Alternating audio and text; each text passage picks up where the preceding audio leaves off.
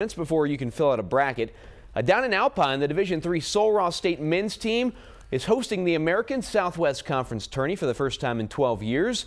The Lobos up against LeTourneau in the quarterfinals tonight. Alex Harrison bringing some noise with him. The Lubbock native up top for the dunk early. Harrison would add another later on. Sul Ross State breezing through to the next round 97 to 72. Christopher Saul joining us live from Alpine. Marshall, it was a 98-72 drubbing of your opponent tonight. Coach Cliff Carroll here with me today. He's with the Sul Ross Lobos. So tell me, Coach, uh, what does it feel like to win by more than 20?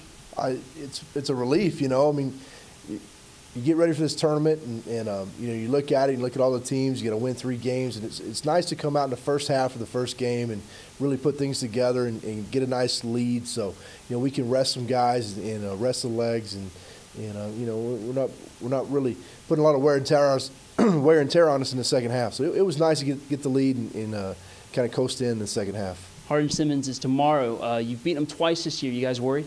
Yeah, they're good. they're really good.